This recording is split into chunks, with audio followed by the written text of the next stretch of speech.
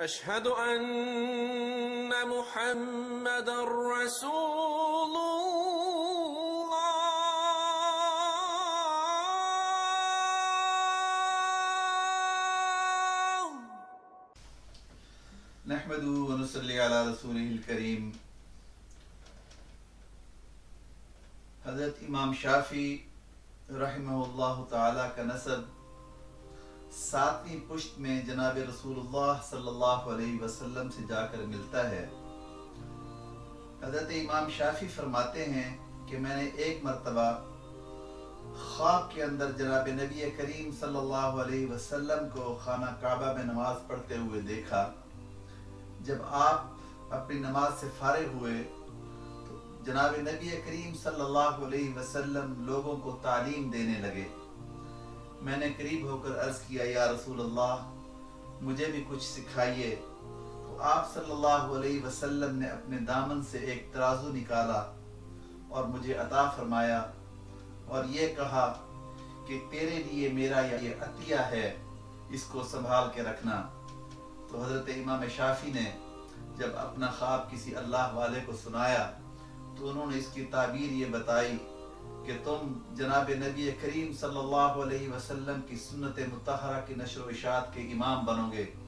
और ऐसा ही हुआ।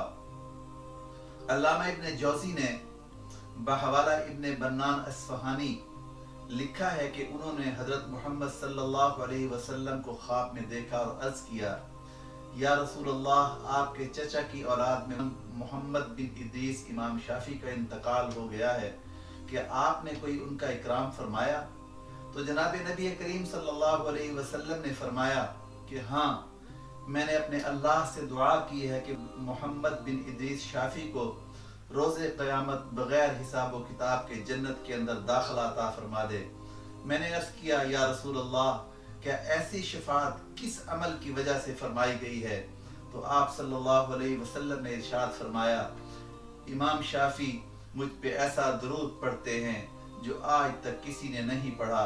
मैंने अर्ज़ किया, या रसूल अल्लाह वो दरूद कौन सा है? और वो दरूद मुझे भी इनायत फरमा दीजिए।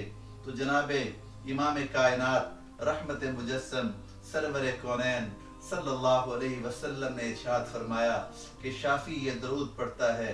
सल्लि अला मुहम्मद कुल्लमा ज़करहु ज़ाकिरून व सल्लि अला मुहम्मद कुल्लमा गफल अन ज़िक्रिहिल गाफिलून ये इतना खूबसूरत दरूद है कि जिसकी वजह से हज़रत इमाम शाफी रहमहुल्लाह ताला को अल्लाह के नबी ने बगैर हिसाब किताब के जन्नत के अंदर दाखिले के लिए अल्लाह से अल्लाह से दुआ फरमाई।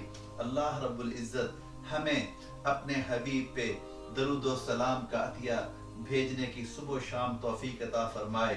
दरूद शरीफ वो नगमात हैं, वो कलिमात हैं, जो अल्लाह रब्बुल इज़्ज़त भी अदा करते हैं। ये एक ऐसी मकबूल इबादत है कि जिसे अल्लाह भी, हालाँकि अल्लाह इबादत से पाक हैं, लेकिन अल्लाह रब्बुल इज़्ज़त अपने हबीब पे, अपने फरिश्तों के साथ दरूद सलाम के तोहफे भेजते हैं। और ये एक ऐसा फरीजा है जो अल्लाह कहते हैं इन अल्लाह और उसके फरिश्ते इस नबी, अल्लाह के नबी पे दरूद सलाम भेजते हैं। या अय्युहल्लज़ीना आमनू सल्लु अलैहि वसल्लिमु तस्लीमा। ए ईमान वालो, अपने इस हबीब पे दरूद सलाम के तोहफे भेजो। तो दरूद सलाम एक ऐसी मुजर्रब और मकबूल इबादत है कि जो दरूद के जुमले ज़ुबान से निकलते बाद में हैं और अल्लाह के यहाँ पहले मकबूलियत पा जाते हैं। दरूद शरीफ पढ़ने वाला कभी नाकाम नहीं होता, दरूद पाक का विरद करने वाला कभी बेरोजगार नहीं हो सकता। दरूद पाक के कलिमात को अपनी ज़ुबान पे सजाने वाला कभी परेशान नहीं हो सकता। ये दरूद सारे गमों का इलाज है। ये दरूद सारे मुसीबतों से मुसीबतों से नजात का ज़रिया है। और इसीलिए अल्लाह रब्बुल इज़्ज़त अपने फरिश्तों के साथ इस वजीफे को अदा करते हैं। हमें भी चाहिए कि हम अपने हबीब पे सुबह शाम उठते बैठते, चलते फिरते, आते जाते महफिलों में अपने हबीब पे दरुद सलाम भेजें। अल्लाह रब्बुल इज़्ज़त हमें अपने हबीब पे दरुद सलाम भेजने की तौफीक नसीब फरमाए।